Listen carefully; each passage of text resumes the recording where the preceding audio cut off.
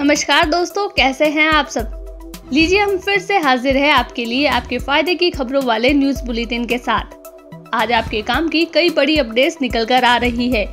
ये सभी खबरें बड़े काम की है। तो चलिए जानते हैं आज की सभी बड़ी अपडेट्स। पहली बड़ी अपडेट है कि नोटबंदी के दौरान काली कमाई पर अब भुगतान। इसके अलावा दूसरी बड़ी खबर है कि एक अप्रैल से नो पर नहीं लगेगा टैक्स। तीसरी बड़ी अपडेट निकल कर आ रही है कि अप्रैल में सात से आठ गुना महँगी हो सकती है वोडाफोन आइडिया की सर्विस। चौथी आपके फ़ायदे की खबर है कि लगातार दूसरे दिन सस्ता हुआ डीजल, यानी पेट्रोल का भाव। इसके अलावा पांचवी अपडेट है कि ग्राहकों के लिए खुशखबरी, कंपनी के सीईओ टीम कुक ने किया बड़ा ऐलान। इन सभी काम की खबरों पर एक एक करके बात करेंगे, लेकिन आपसे गुजारिश है कि वीडियो पूरा ज़रूर देखिए, ताकि कोई भी काम की खबर आपसे छूट ना जाए। तो आइए बिना देर किए जानते हैं आज की सभी बड़ी खबरें। बढ़ते हैं पहली बड़ी खबर की ओर। नोटबंदी के दौरान काली कमाई पर अब भुगतान। दोस्तों 8 नवंबर 2016 को प्रधानमंत्री नरेंद्र मोदी ने अचानक से नोटबंदी का ऐलान किया था। 500 और हज़ार रुपए के नोट चलन से बाहर कर दिए गए। उस दौरान जूलर्स को ये छूट मिली थी कि वे बैंक में कितने भी 500 हज़ार के नोट जमा करा सकते हैं। इस छूट का कुछ जूलर्स ने गलत फ़ायदा उठाया। और ब्लैक मनी को व्हाइट मनी करने में खूब पैसे कमाए। अब उन्हें काली कमाई के बदले भुगतान होगा। इनकम टैक्स डिपार्टमेंट ने शक के दायरे में आए जूलर्स को नोटिस भेजना शुरू कर दिया है, जिसके मुताबिक उस दौरान जितनी बिक्री हुई है, वह ब्लैक मनी की हुई है। अब बात करते हैं दूसरी बड़ी खबर की। एक अप्रैल से इन नौ पर नहीं लगेगा टैक्स। एक अप्रैल 2020 से शुरू होने वाले फाइनेंशियल ईयर में आपको दो टैक्स सिस्टम मिलेंगे।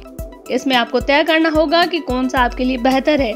नया टैक्स सिस्टम चुनने वालों को 70 टैक्स एग्जेप्शन और डिडक्शन से हाथ धोना होगा। वहीं इनमें 80 सी के तहत निवेश में मिलने वाली 1.5 लाख रुपए तक की छूट, सेक्शन 80 डी के तहत हेल्थ इंश्योरेंस प्रीमियम पेमेंट और 80 टीटीए के तहत बचत खाते या पोस्ट ऑफ़िस खाते में जमा पर मिलने वाले ब्याज पर डिडक्शन भी शामिल है। अब रुक करते हैं तीसरी बड़ी खबर का। अप्रैल में सात से आठ गुना महँगी हो सकती है वोडा आइडिया फ़ोन की सर्विस दोस्तों, हो सकता है कि आने वाले दिनों में वोडाफोन आइडिया के यूज़र्स को सर्विस जारी रखने के लिए सात से आठ गुना ज़्यादा शुल्क देना पड़े।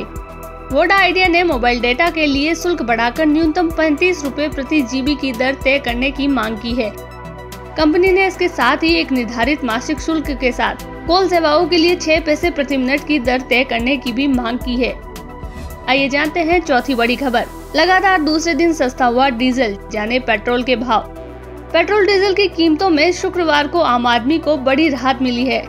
शुक्रवार को डीजल की कीमतों में पाँच से छह पैसे प्रति लीटर की कटौती की है।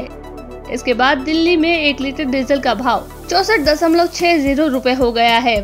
वहीं एक लीटर पेट्रोल के लिए आपको इकहत्तर दशमलव नौ छह रूपए खर्च करने होंगे। तेल कंपनियाँ सुबह छह बजे से ही पेट्रोल रेट और डीजल के नए रेट जारी करती है।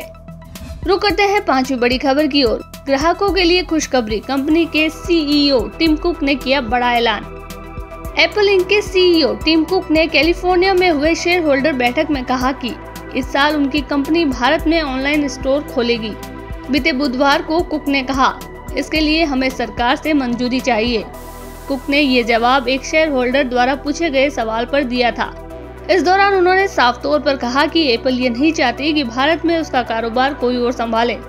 शेयर होल्डर्स के साथ इस बैठक में टीम कुक ने यह भी कहा कि भारत सरकार से उन्हें इसके लिए अभी मंजूरी नहीं मिली है। हम भारत सरकार से बात कर रहे हैं। हमें पूरा भरोसा है कि जल्द ही ये मंजूरी मिल जाएगी। तो दोस्तों, ये थी आपके काम की वो खबरें जो आपको सीधा फ़ायदा दिला सकती है।